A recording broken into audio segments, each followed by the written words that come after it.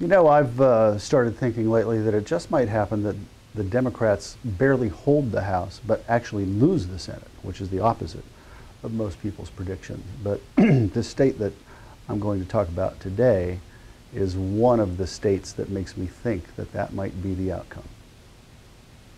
This is West Virginia. Uh, as some of you may know, that's where I'm from. It's an Appalachian state, a poor and largely rural state and it's got a suddenly fascinating Senate race, as you may have read about. The Democrat is the incumbent governor, the sitting governor, Joe Manchin, incredibly popular governor, 70-something percent, running for the seat uh, that was held for many years by Robert Byrd. Robert Byrd, of course, as you know, the longest-serving senator in the history of the Senate, first elected in 1958, died earlier this year. Manchin announced his intention to run. It was thought that he was going to waltz in. Uh, but then, lo and behold, the political situation in West Virginia is a little bit more volatile than that. The Republican candidate is a man named John Raese. He's from my hometown of Morgantown. Um, he has been living mostly in Florida in recent years, but that doesn't seem to be getting in the way of anything. Suddenly, some polls come out in the past month. It's a very tight race. Some polls even show Raese ahead, even though Manchin has this 70% approval rating. Why? The answer, obviously, is that Barack Obama and the Washington liberals are very unpopular in the state of West Virginia. And so, Raese and the National Republicans have come up with a very effective line of attack.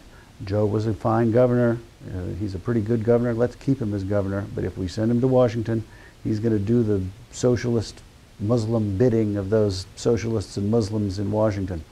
I'm John Raese, and I approve of this message because I won't be a senator that's a rubber stamp to Barack Obama. I'll only serve you. It's been working until just this week. Uh, the Democrats somehow got a copy of a casting call for a television commercial that a National Republican Committee was making, uh, which put out an advertisement for blue collar, hickey types of actors. This hasn't gone down so well. Now you can imagine if this, uh, if the Republicans had caught the Democrats doing something like this, it would it would be wall to wall, nonstop madness.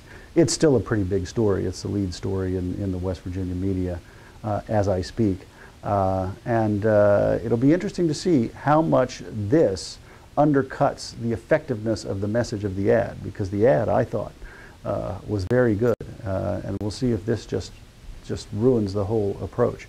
And if it does, then John Raese is in some trouble.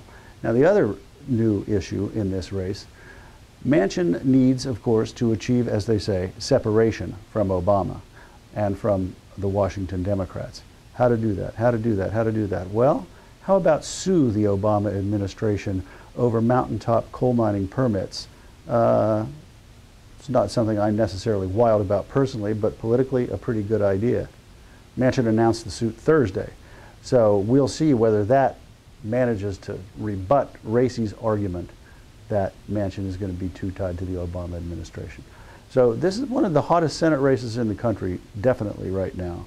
Uh, and if John Raese wins this contest, then it may well be that the Democrats uh, lose the Senate. Uh, all the experts were saying after Christine O'Donnell beat Mike Castle in Delaware in the Republican primary that the Senate was out of reach for the Republicans. I actually say not necessarily, and this is one of the states to watch.